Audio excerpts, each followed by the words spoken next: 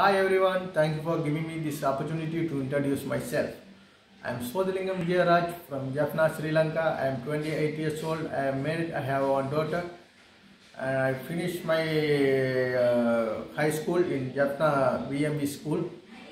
After that, I got the opportunity to work in Qatar. So I went there. I worked as a security for four years. At the same time, when I get a free time, I going with plumbers and helping them and watching what they are doing. So I interested on that. So after that, I resigned my job. I came back to Sri Lanka. Uh, then I uh, completed a plumbing course, plumbing diploma course. So after I finished my course, I work in uh, Sri Lanka as a plumber.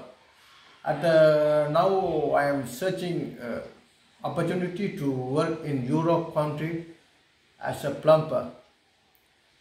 So that's it. Thank you for watching my